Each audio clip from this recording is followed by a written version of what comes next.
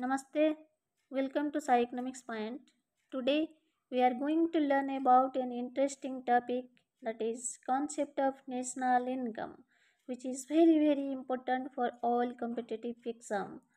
Do you know most students directly start to study GDP and GNP concepts without understanding the foundation of basic concepts. But remember that economics is a technical subject okay and you would not reach very far if you try to memorize only definitions without actually understanding it, right? So, before discussing the concepts of GDP and GNP, let's first understand what is domestic territory. Okay, for a non economic student, domestic territory of a nation is understood to be the territory lying within the political frontiers of a country okay that is india's map. Okay.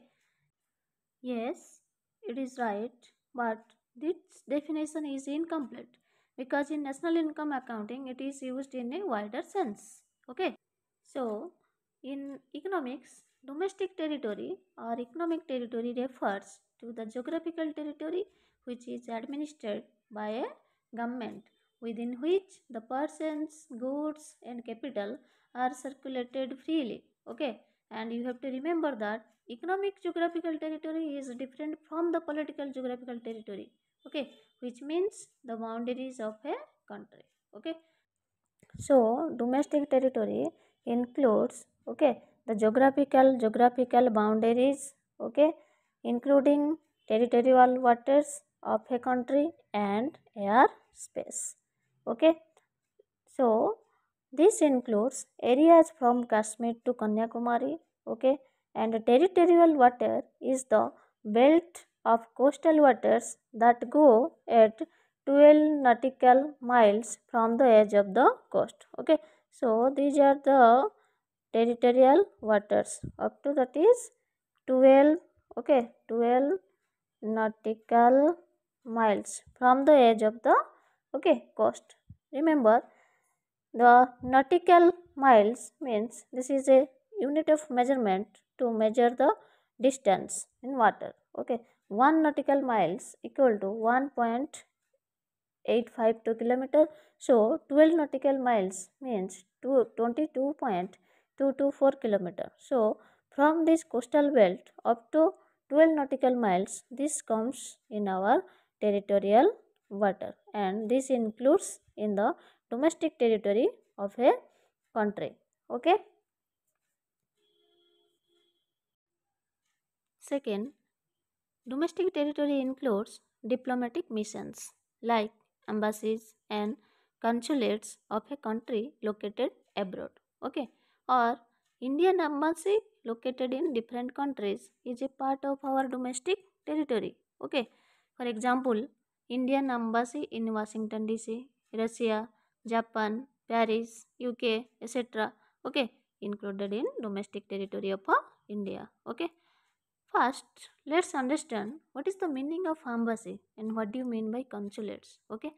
Embassy means permanent diplomatic mission of the government of one country in another country. Okay. It is a group of officials and their head ambassador who represent their government in a foreign country right?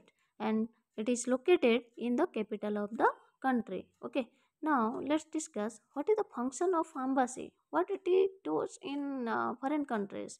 Okay. So uh, embassy represents home country abroad in all diplomatic interest and affairs as well as interest of its citizens that may be living working or visiting the host country. Okay. And consulates means a diplomatic representative of one country to another right? And or you can say consulates means a branch of an embassy that represents the home country in abroad okay? And it is located in various metro and uh, tourist cities okay? And its uh, uh, head is high commissioner okay? High commissioner. And who reports to the ambassador right? Uh, next is uh, what is the function of consulates okay so uh, consulates uh, it handles smaller diplomatic affairs such as issuing visas, adding in relationships, adding migrants, tourists. So these are the function of consulates. Okay. Hence, embassies, consulates are all properties of India because they represent our country in abroad. Okay. And uh, part of her domestic territory okay which is fully controlled and administered administered by government of india okay. So uh, hence uh, embassies consulates okay they are uh, considered as uh, domestic territory of india because uh, these are fully controlled and administered by government of uh, india. So these are part of economic territory or you can say domestic territory of india okay. Next is uh, ships aircrafts operated by residents between two or more countries. Okay also includes our domestic territory of india. For example an air india aircraft okay flying between tokyo and paris be a part of domestic territory of india. Even though both the destinations are outside india okay this includes our domestic territory okay because aircraft is a property of india. Okay. Though it provides service in outside india but there is inflow of currencies to india. Okay. Similarly indian ships operated by residents on international border or water is a part of domestic territory or economic territory. Okay. Next is fishing vessels oil natural gas rigs and floating platform. Okay. Operated by normal residents of a country in the international water or other areas where they have exclusive rights of operation. Okay. For example fishing boats operated by indian fishermen in international water of indian ocean. Okay. Or uh, research projects undertaken by indian government in international waters of indian ocean is also a part of domestic territory of uh, india.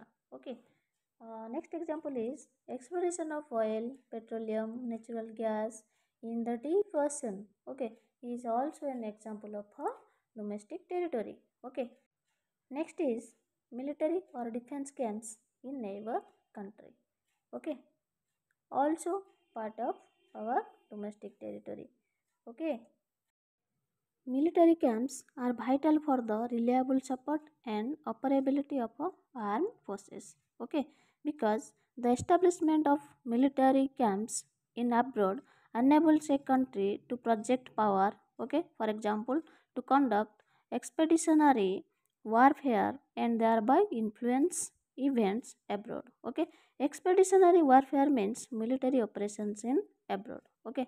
And in uh, defense camp or military camp okay soldiers get trained okay. And here we can also store our uh, defense equipment okay? And some important military bases that is situated outside india okay are uh, displayed in the map. And these are nepal bhutan maldives oman iran tajikistan sri lanka madagascar and mauritius in east africa okay?